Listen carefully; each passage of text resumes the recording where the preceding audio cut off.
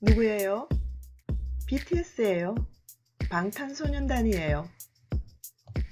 누구예요? 누구예요? Hello everyone. 안녕하세요. Welcome to Yoonlab Korean class. Today, we are gonna learn how to ask and answer who the person is. For this, we need just one word, who, 누구, 누구. First, this is the simplest version. 누구예요? 아미예요. This is additional information. If someone asks you, are you army? How would you answer? 아미예요? 네, 아미예요. Excellent. 누구예요? 공유예요. Have you ever seen any film he appeared?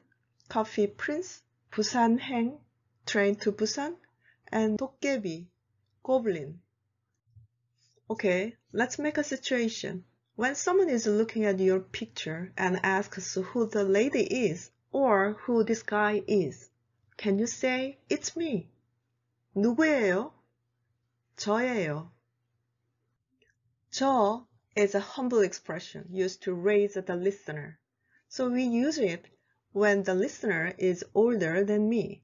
On the contrary, when the listener is my friend or younger than me, I can use 나 as a casual speech. And adding 야 instead of honorific ending 예요. You can talk with your friends looking at the pictures. 누구야? 나야. Second, it's an extended version using a specific subject when asking. I have a quick question. How do you say who is he literally in Korean? It can be 그는 누구예요? But it sounds like a written form. 누구예요 itself is enough as you learned.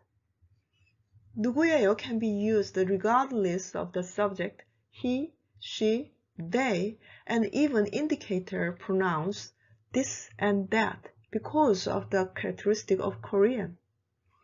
When speaking, we almost don't use the personal pronouns he, she, they.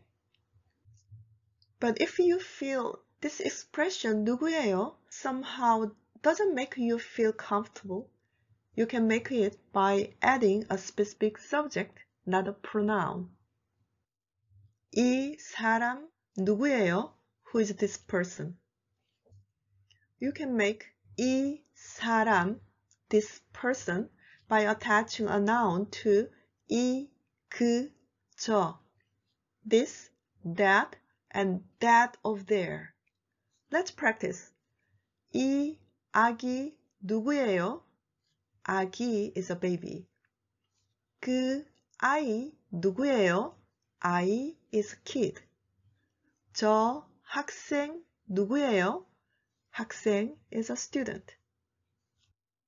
이 여자 누구예요? 이 남자 누구예요? 여자 is women and 남자 is man. It's perfect. You can use these sentences. But sometimes depending on the situation, you'd better say 이 사람, this person. Rather than distinguishing between men and women, Korean has developed a gender-neutral expression.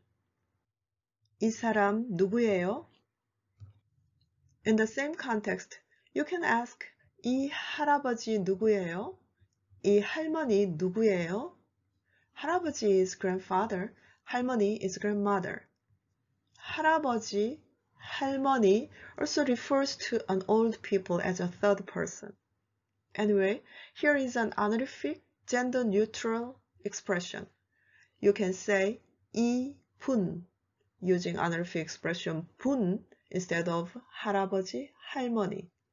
Could you repeat after me? 이분 누구예요? Third, it's an extended version using possessive my when answering. 누구예요? 제 친구예요. She's my friend. 저 is I and 제 is my. Just add one long stick. Shall we practice? 제 선생님, my teacher. 제 동생, my younger sibling. 누구예요? 제 동생이에요. I have a tip for you. Koreans use 제 when we want to talk about ownership, such as my store. But we usually use 우리 to mean our when talking about relationships. However, beyond this general rule, even when talking about possession, we tend to use 우리. And also we can use 제 when talking about relationship. Amazing. But 우리 is better and natural for the relationship. Look at the left one first. When talking about ownership, 제 차, 제 커피. When talking about relationship, 우리 언니, 우리 엄마. 누구예요? 우리 오빠예요. 오빠 has two meanings. One is a biological older brother from a girl's perspective, and the other is a boyfriend.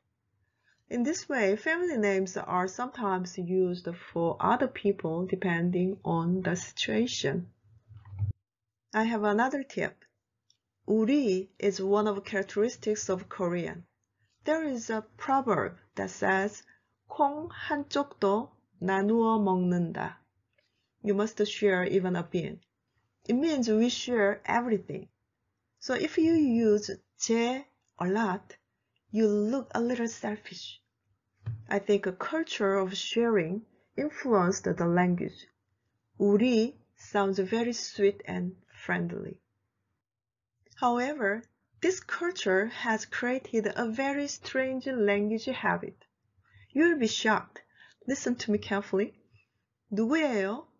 우리 남편이에요. Oh my gosh. Literally translated, it means our husband. You have to share even your husband. Don't worry. He is absolutely your husband. 누구예요? 우리 남편이에요. 누구예요? V예요. 누구예요? RM이에요. Good job. So, did you enjoy this video? Practice by yourself. And if you have any questions, let me know in the comments. Thank you for watching. I will see you next time. 다음 시간에 만나요. 안녕히 계세요.